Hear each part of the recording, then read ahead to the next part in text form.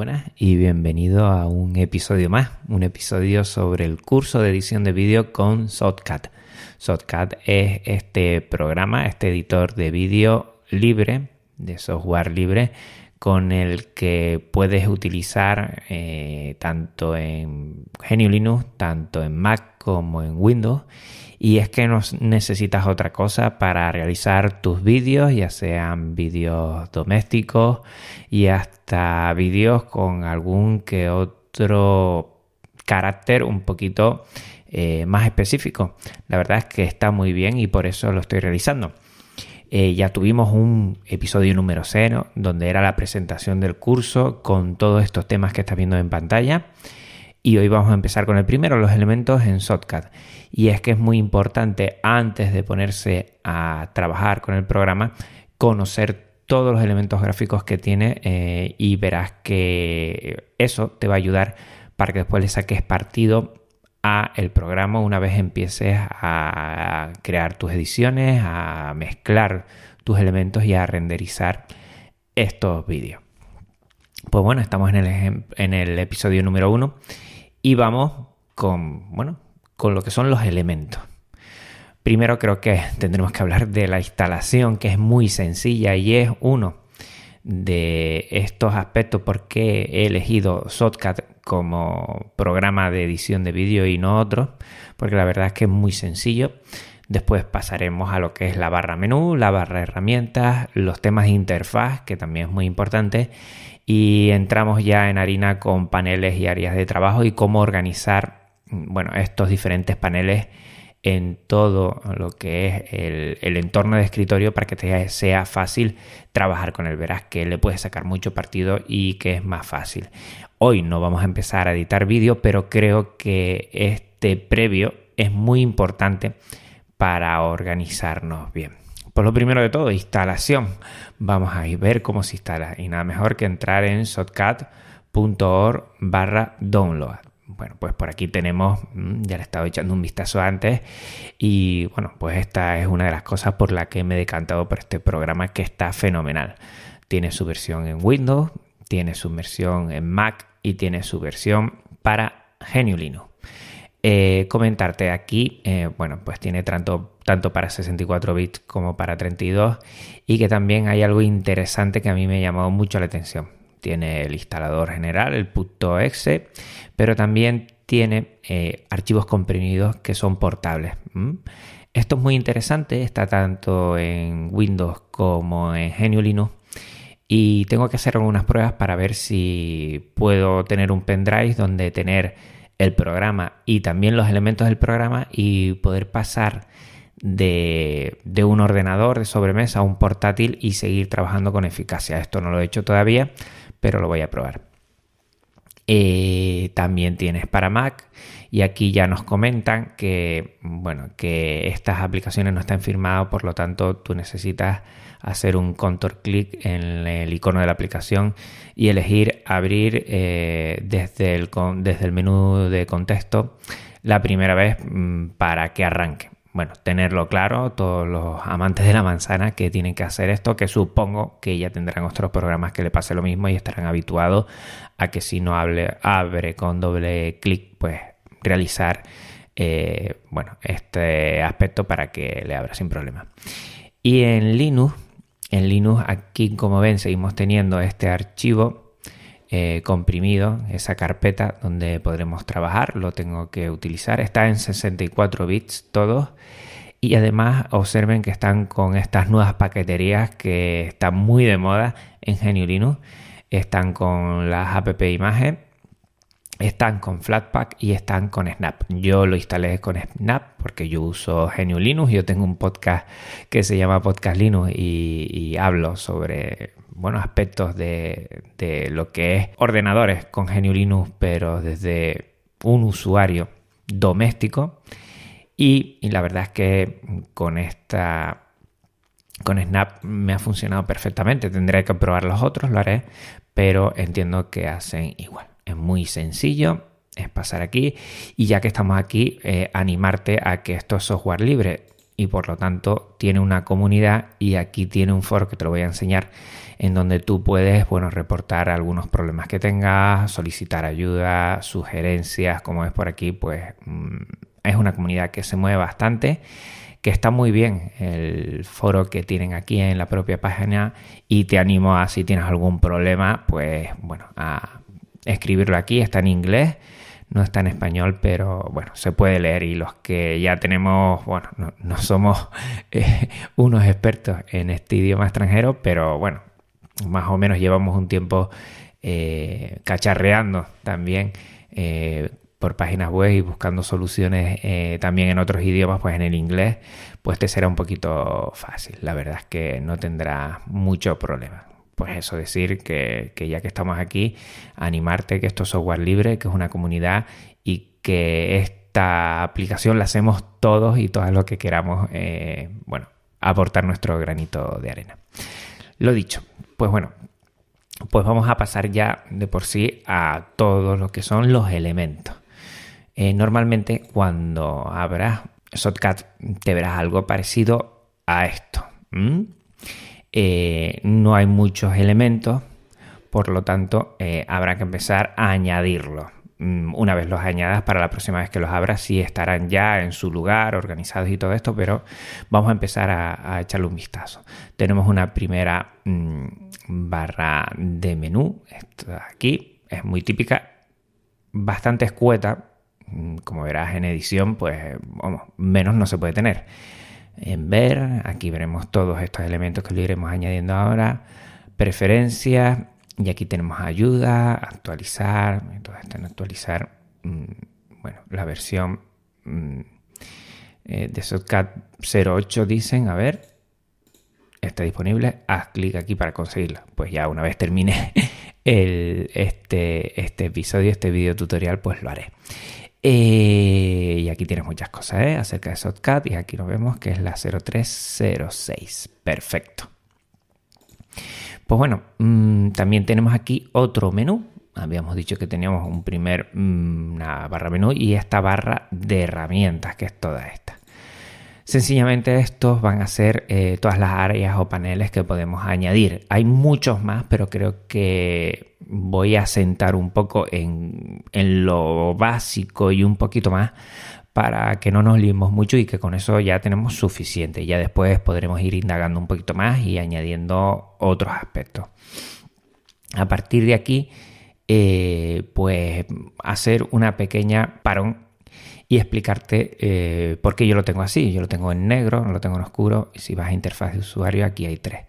Tal de sistema normal, que sería este.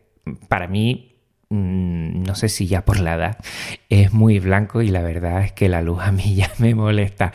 No sé si será ya que, bueno, pues voy picando más de 40 y algo y hasta ahí puedo contar y por lo tanto a mí esto me molesta. Pero hay gente, yo hasta hace un año me encantaba todo lo que era eh, temas claros. Y también tenemos, pues, el tema, perdón, aquí, el tema oscuro. Y con ese, la verdad es que yo me siento más cómodo. Además, que para mí centramos más en lo que es la imagen y en lo que es los elementos. Para mí, para gustos, colores.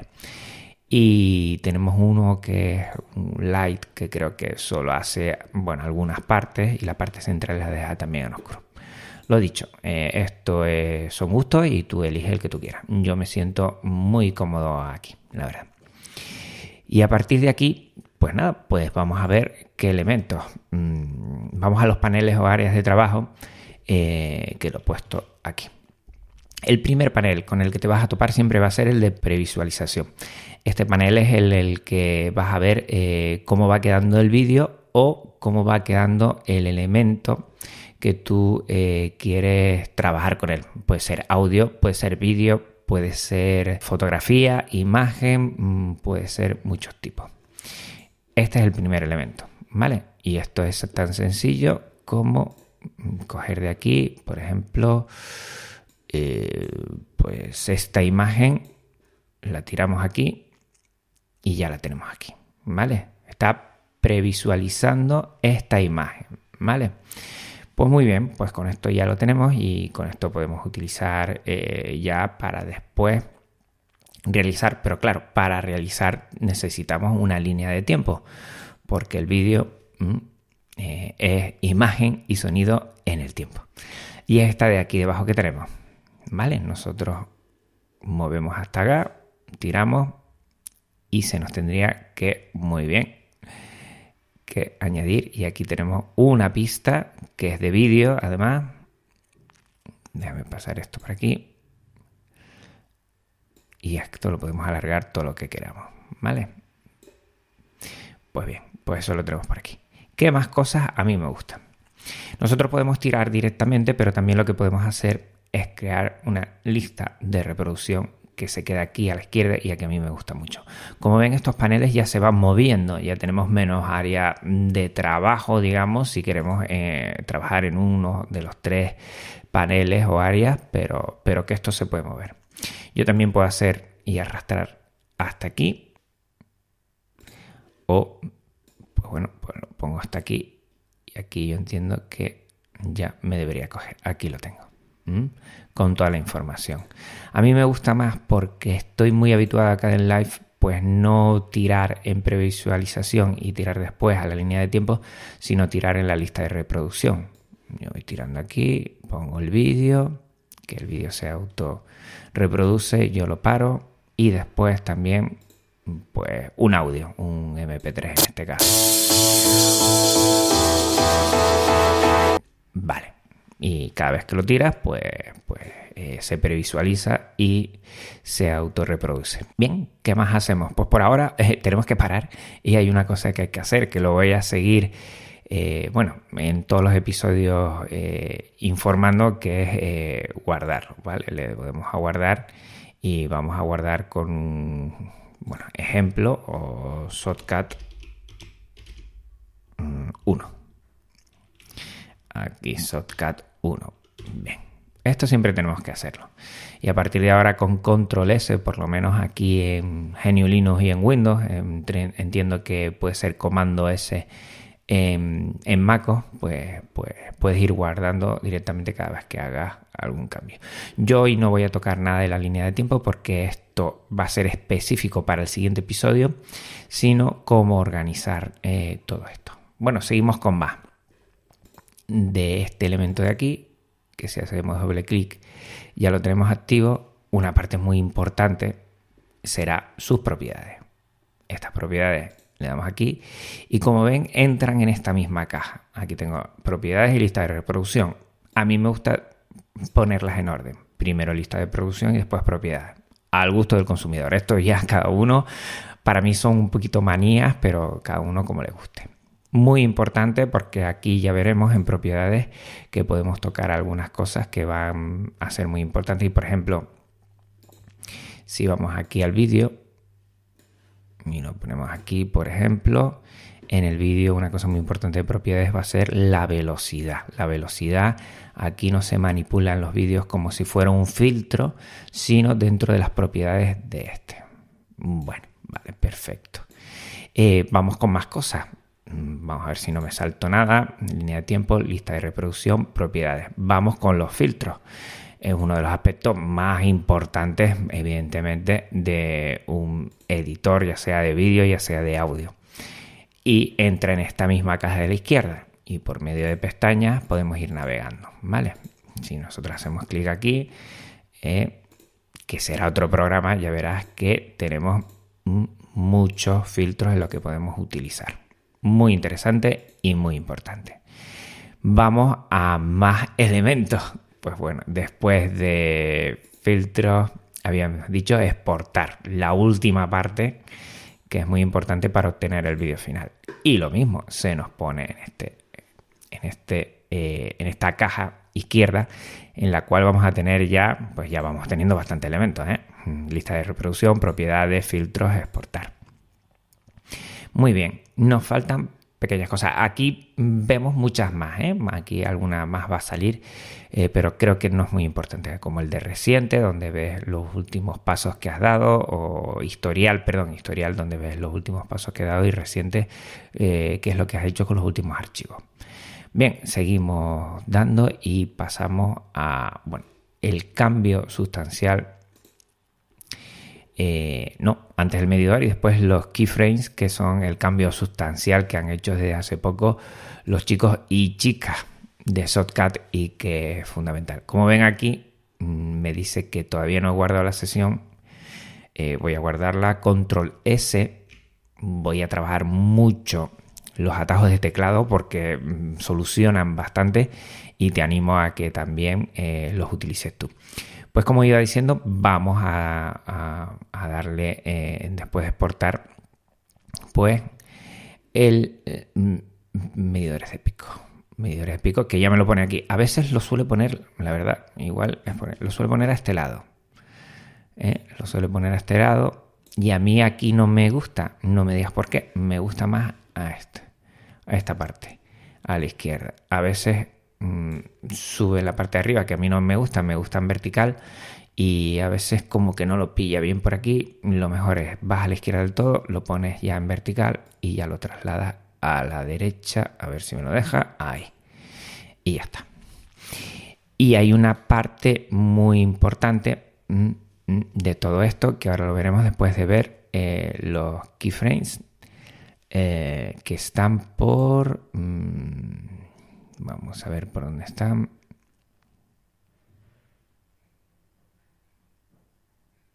El tutorial pues parece que no le han dado aquí. Y los keyframes pues se habrán, se habrán ido. Eh, pues aquí estaban hace, hace poco, ¿no? Sí. Vamos a darle... Eh, vamos a darle a guardar control. A darle aquí.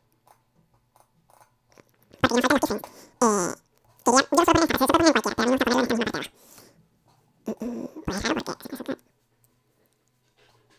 es un poco raro porque antes sí estaba así, trabajé antes.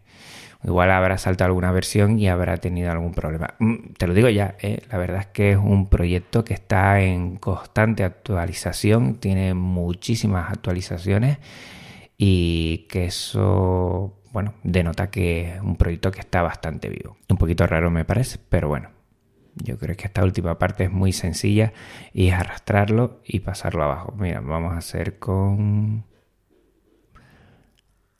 Eh, con, la línea de tiempo que ya está y pasaría aquí. Es arrastrarla, tanto como arrastrarla y pasarla aquí abajo. Eh, los elementos tienen tiradores, todas las zonas, todas las áreas, como ves por aquí, y esto lo podemos modificar. Por ejemplo, este de aquí lo podemos aumentar y lo podemos bajar. Este de aquí segundo, ven este tirador aquí. Esto ahora lo ven, podemos aumentar en el medidor de pico de audio, lo podemos bajar. Esto dependiendo de las necesidades que tú tengas en las cuales te veas en la obligación de ampliar un poquito un área porque no se ve lo suficiente, porque por ejemplo estás viendo esta previsualización y, oye, me gustaría verlo un poquito más grande. Pues bueno, vas tirando de aquí o vas tirando del fondo y vas agrandando. Esto, bueno, pues a requerimiento del consumidor y lo que necesite, ¿eh? que está muy bien. Eh, como ves, tú puedes, yo puedo coger exportar, por ejemplo, y si me interesa, la puedo poner por aquí. Pero claro, ya pierde mucha área. A ver si me coge ahora. A ver que ahora no se queda con ella.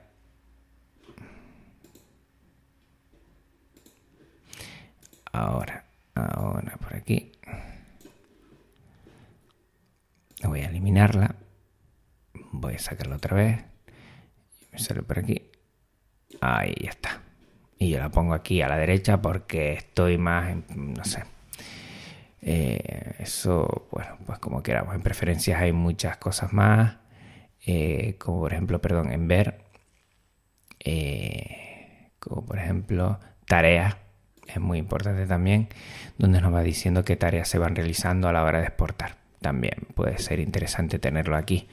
Lo que pasa es que ya vamos rellenando demasiado este área y como ven las solapas a ver si me deja aquí. Esto me lo puse arriba.